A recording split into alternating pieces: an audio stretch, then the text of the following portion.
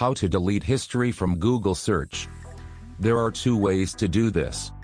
The first method is suitable if you have a Google search widget on your desktop.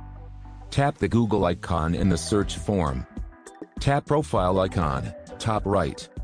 Tap Search History. Tap Delete button. Touch the period for which you want to delete your search history.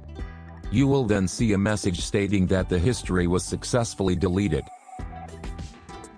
The second way to delete Google search history is through a browser. Open the Chrome browser.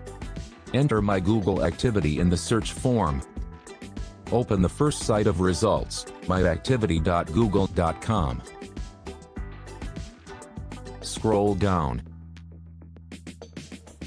Tap Delete button.